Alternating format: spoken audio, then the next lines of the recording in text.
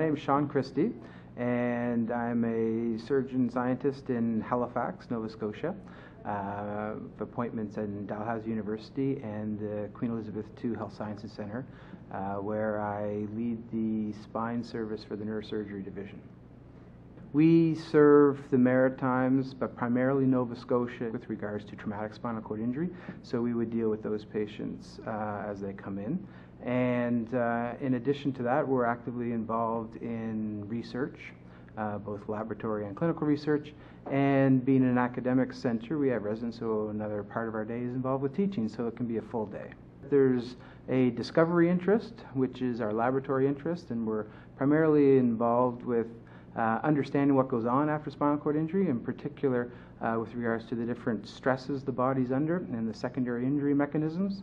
Um, so, so one aspect of that would be termed oxidative stress, and we're looking at how that changes within the cells of the spinal cord so that we can develop treatments that would reduce any further injury that a person uh, may get after or worsening of their injury that a person may get after they have their initial um, accident. Uh, from a clinical standpoint, uh, there's a few things that we're interested in. Uh, one that we talked about at this meeting here is primarily headed up by Christine Short, who's one of our uh, physiatrists and an active member of our team.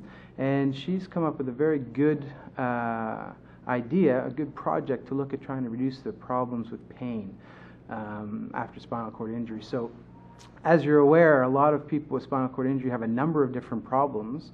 Uh, and one of the most significant ones is pain. And up to almost a half of people with a spinal cord injury develop a very severe pain, and we call it neuropathic pain because it's it's different from the pain that you get when you um, bump your toe on the on the doorstop or something like that. This is more of a burning, deep pain that uh, can persist and is very difficult to treat. And there are some treatments that have shown to be uh, beneficial. But what uh, Dr. Short's idea was that uh, maybe we can prevent that pain from happening at all. And we were hoping that we could prevent that pain by happening at all if we give a treatment drug before people even get the pain.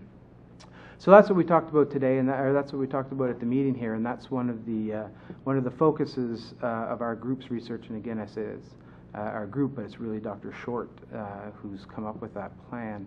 and it's it's been promising, but we're still in the early days. Uh, we don't have all of our patients enrolled and that sort of thing, so we can't make a definitive comment. But it's been, uh, we can comment that it's it's tolerated well. Uh, the people who have received it haven't had any problems uh, with regards to the treatment, uh, and the treatment uh, goes by the name of pregabalin.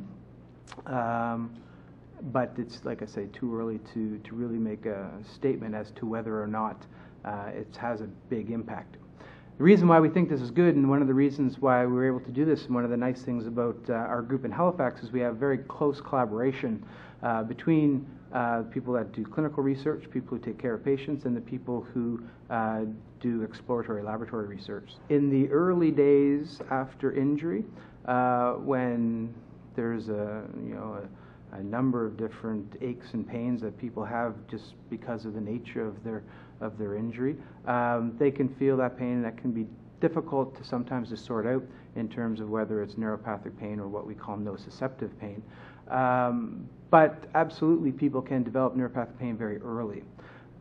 In, for the purposes of this study, this pilot study, to really show that there's a difference in neuropathic pain, we are currently excluding people who have pain that may be neuropathic in nature to try to get a more clear answer to a question.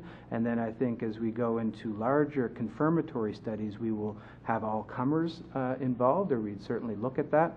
Um, but to directly answer your question, neuropathic pain can happen at any time, um, but we are targeting the people who tend to develop it on a delayed basis uh, at this point in time, looking to encompass everybody in the future. There's a huge quality of life issue, um, and there's not only quality of life, but there's issues with regards to ability to participate in their rehabilitation uh, programs. If somebody's in severe pain, you can imagine that getting up and doing things uh, can sometimes not be the thing they want to do that day, and that doesn't help further their, their improvement.